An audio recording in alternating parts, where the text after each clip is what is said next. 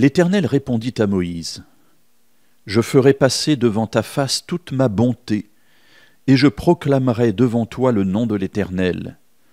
Je fais grâce à qui je fais grâce, et j'ai compassion de qui j'ai compassion.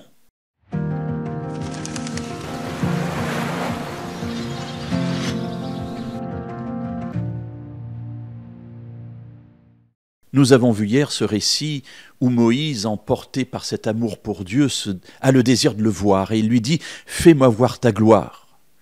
Alors que se passe-t-il? Dieu lui répond. Il lui répond immédiatement, il n'attend pas. Il lui dit Je vais faire passer devant toi. Et là, on, s'attend à ce qu'il dise ben, Je vais passer devant toi.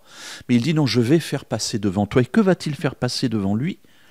Toute sa bonté, alors moi, ça me touche parce que je me dis, tiens, Dieu, lorsqu'il se révèle, se révèle au travers d'un, je ne sais pas le terme qu'il faudrait appliquer, mais peut-être un attribut, une qualité, qui est celle d'être bon.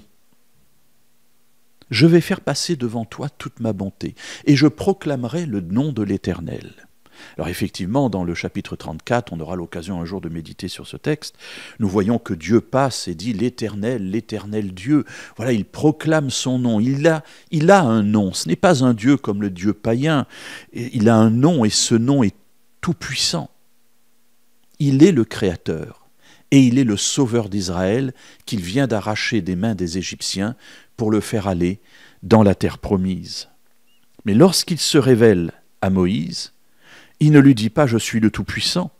Il ne lui dit pas je suis l'Éternel des armées, je vais combattre. Il le dira à d'autres moments, mais à ce moment-là, il sait que Moïse a besoin d'autre chose. Et il lui dit, je vais faire passer devant toi toute ma bonté.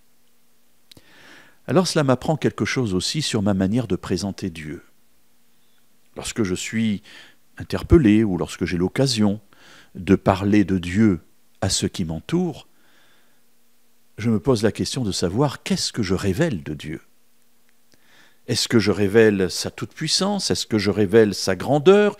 Est-ce que je le révèle comme Dieu créateur? Est-ce que je le révèle même comme Dieu sauveur? Tout cela est juste. Mais je trouve intéressant qu'à ce moment particulier d'intimité avec Moïse, ce que Dieu révèle à Moïse, c'est sa bonté.